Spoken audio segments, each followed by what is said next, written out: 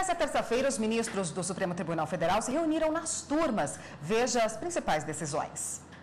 A primeira turma devolveu o processo de juiz federal ao Superior Tribunal de Justiça. De acordo com os ministros, o STF não pode julgar o caso antes de manifestação da Corte Superior sobre alguns pontos da denúncia.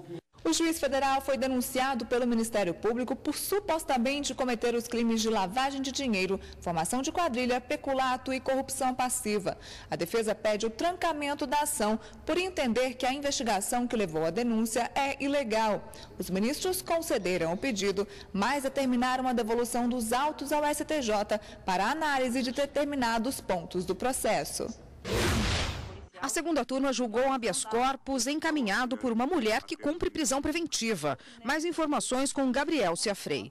A ré foi acusada de praticar crimes como tráfico e associação para o tráfico de drogas, corrupção de menores, formação de quadrilha e receptação. Outros pedidos de habeas corpus já haviam sido encaminhados pela defesa da acusada, mas negados pelo Tribunal de Justiça de São Paulo. No STF, a defesa da mulher alegou que ela tem bons antecedentes, endereço fixo e que não oferece riscos à sociedade.